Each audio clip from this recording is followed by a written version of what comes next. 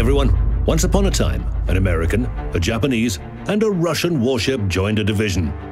We hope one of them isn't harboring a grudge. Nevertheless, today's story only begins as a comedy, but quickly escalates into a fully fledged, edge of the seat thriller and ends like a fantasy novel. The map is Land of Fire, but the land isn't the only thing burning in this match. Our hero, 11 Paul 11, entered the battle on Moskva. His division mates are on Gearing and Yamato. It's a universal combination of a destroyer, cruiser, and battleship that offers a multitude of interesting tactical choices.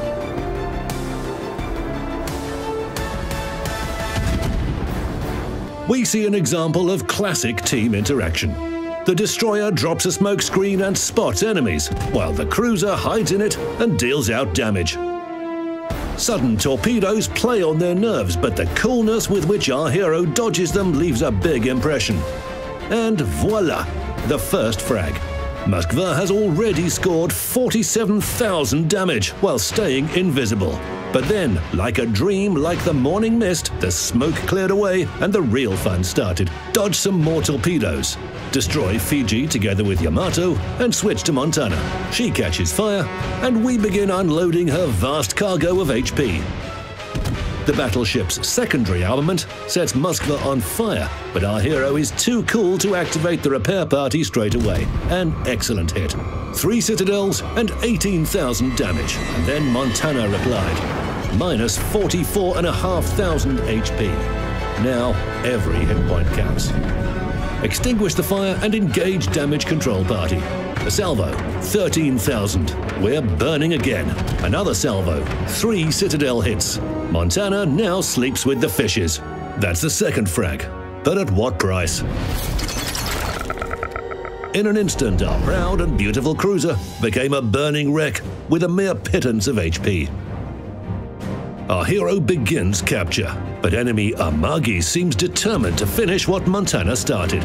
With literally no HP left, any hit could be the last, so we start firing and quickly retreat.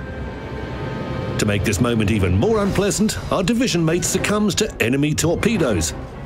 We continue firing at the battleship until it gets behind an island. And, as a farewell gift, we receive a painful hit from the Japanese. Only 380 HP left. While the enemies are out of sight, we need to return to capture. It's time to reflect on our miraculous escape, heal ourselves, and we're spotted. Amagi reappears, and the damage control party isn't ready yet. The battleship fires, and our hero is still afloat. HP is being restored, but we have zero chance against the undamaged Amagi. At this point, we can only hope to go down in style. Minus 7,000 HP, another hit, and we're done. As it should be in a good thriller, salvation came at the very last moment. The division mate covered our hero with smoke, but the battleship fires blindly and scores. Less than 2,000 HP left. Maneuver and focus our fire. Amagi dodges torpedoes but can't evade artillery shells. Our partner gets a frag, and our hero earns the high caliber achievement. That's what I call cooperation. Let's repair and switch to Atago. Whoops. Our hero should have stayed in the smoke. The enemy cruiser instantly showed Moskva the extent of her mistake and claimed 8,000 hit points as payment for this lesson. Thanks for surviving. The grateful student immediately sent her teacher to the depths. Moskva already scored 216,000 damage, and it's 8 versus 5. It's almost too good to be true. A happy end is in sight. Of course, it would be ideal to recapture point B and score some more frags. Keep dreaming. It's 5 versus 5 now. Our division mate sinks North Carolina, but the enemy levels the score. Moskva made an unfortunate move and lost a good portion of her HP again. Hide and assist the Allies. Gearing from our division sinks the aircraft carrier and receives the well-deserved Kraken. We have a good lead in points, and with four minutes left to play, we simply need to survive. So it would be silly to engage the almost undamaged Izumo. With only 9,000 HP in store, it's wiser to leave. Enemy Dmitry Donskoy sank the last Allied battleship. The gap was reduced, but we're still in the lead. And then Moskva was detected by the battleship's spotting aircraft. Just how are we supposed to survive until the end? And that Izumo seems determined to sink our hero. Retreat is not an option, because Donskoy will get us anyway.